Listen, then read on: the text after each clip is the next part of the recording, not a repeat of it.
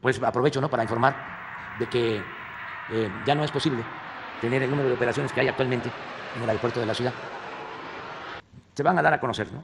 Eh, los datos, a ver si el día de hoy, ¿qué pasa? De que son muchas operaciones diarias en el aeropuerto de la ciudad. Resulta que pues, se mantiene lleno el aeropuerto desde entonces y siguió creciendo el número de operaciones porque pues hay más tráfico.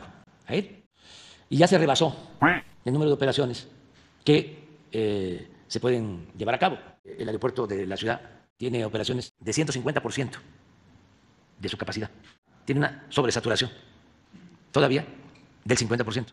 Y ya hay problemas de tráfico y queremos eh, actuar con responsabilidad. Y una recomendación de protección civil.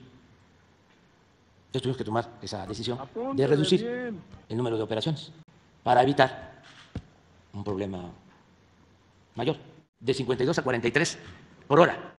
Entonces, eh, ¿qué se está haciendo?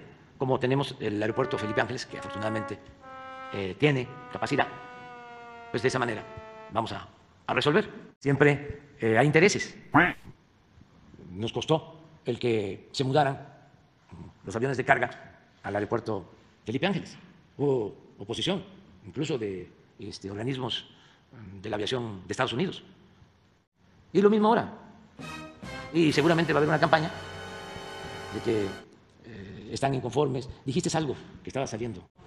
De la categoría. Ah, de la categoría. Sí, no, la categoría eso no tiene que ver, absolutamente, en nada. Eso de la categoría este, uno eh, tiene que ver, con todo respeto, con una actitud muy prepotente de las agencias eh, de Estados Unidos, de las que califican. Entonces, esa es la explicación. Está saturado el aeropuerto de la ciudad. Eh, son muchísimas operaciones, hay riesgos y queremos prevenir.